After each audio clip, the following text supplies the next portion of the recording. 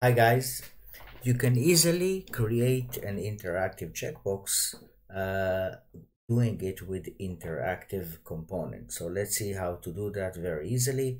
I have a form here uh, designed really a simple one, fields, checkbox and a button.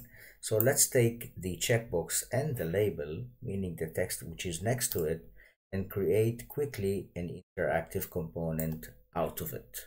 So we can give this one um, a field. I'll give it a white field. I'll give it a check mark like so, something like that. Uh,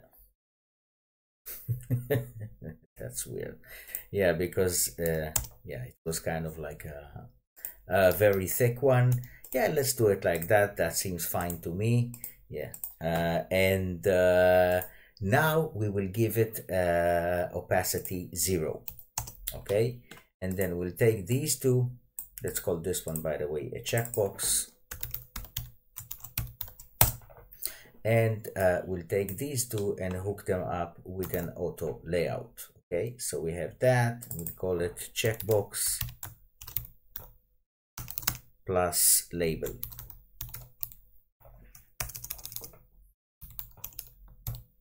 okay done. So we have uh, actually we can even call it the default.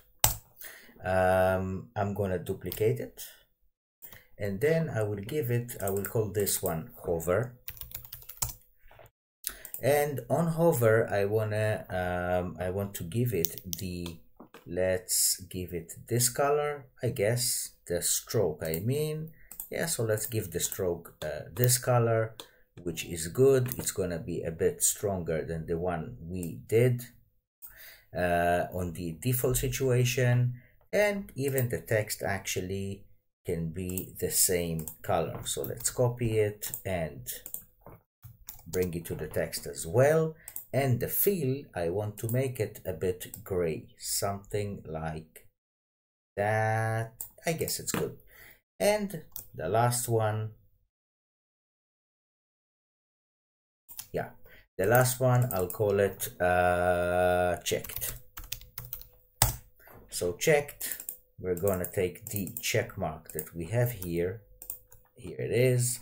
Uh, we'll give it a hundred percent opacity and there we go. I'll bring it back to white and that's it. Basically we have all the three uh, states that we actually want and you know what we can do even another one which will be checked hover. And uh, in this one we are going to give uh, the fill that. Okay good. Now what we can do very easy we can just uh, make it an interactive component checkbox plus label and we have all the states actually lined up here as you see them lined up here. Uh, and now let's hook them up. So this one on hover of course. So we can do it even from the checkbox itself or from the whole component. Actually you know what? Let's do it from all the component which is better actually. Um, so uh, here it's gonna be of course uh, while hovering while hovering let's do that a dissolve and I think that it will uh, work out pretty good. Dissolve 200 milliseconds, I think it's good. This one is to go to this state uh, on click exactly. And that's going to be dissolve at well as well, sorry.